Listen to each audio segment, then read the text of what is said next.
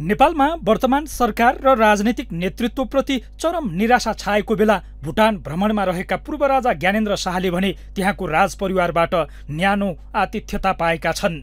भुटानी राजपरिवारका सदस्यहरूसँग उनको भेटवार्ता जारी छ। उनको भुटानी राजा र मुमा बडा महारानीसँग समेत भेटवार्ता भएको छ। राज संस्था पुनर्बहालीको माग गर्दै राष्ट्रिय प्रजातन्त्र पार्टी राप्रपाले काठमाडौँ केन्द्रित आन्दोलनको तयारी गरिरहेको छ। यही बेला भुटान भ्रमणमा निस्किएका पूर्व राजा ज्ञानेन्द्रले न्यानो आतिथ्यता पाएका हुन्।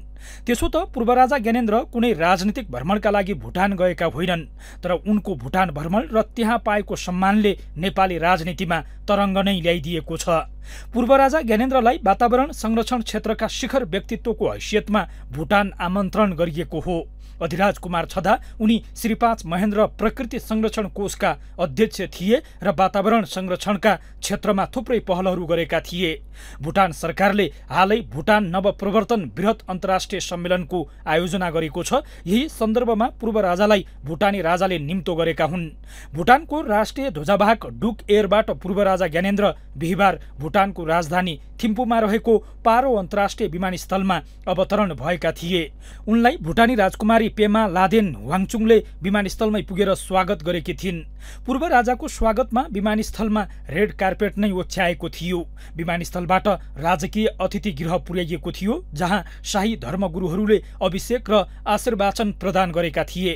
सो पश्चात पूर्व राजा विभिन्न भेटघाटहरूमा व्यस्त छन्।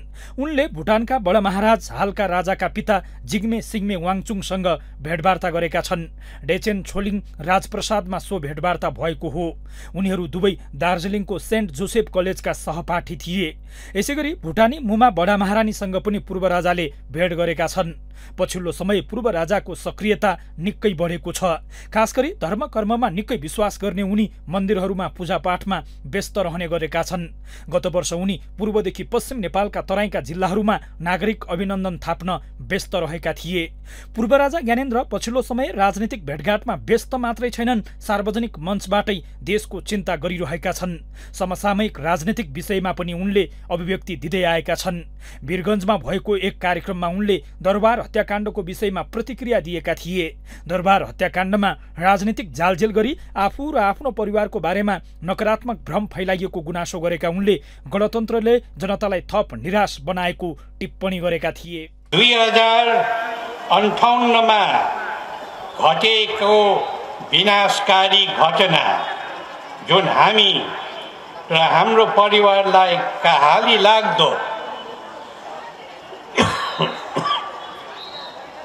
र सम्झन पनि मन नपराउने अवस्थालाई राजनीतिक जाल झेल गरी धेरै नेपालीको मनमा भ्रमको बादल बनाए नकारात्मक भावना फैलाएको थियो हामी र हाम्रो परिवारलाई घातक प्रहारहरू पनि गरेका थिए पूर्व राजाको सक्रियताले यता गणतन्त्रवादी दलका नेताहरूलाई भने पिरोलेको छ। यो मामिलामा नेकपा एमालेका अध्यक्ष तथा प्रधानमन्त्री केपी शर्मा ओली अगाडि देखिएका छन्। उनी जहिल्यै पूर्व राजा र उनको परिवारमाथि आक्रोश पोख्दै आएका छन्।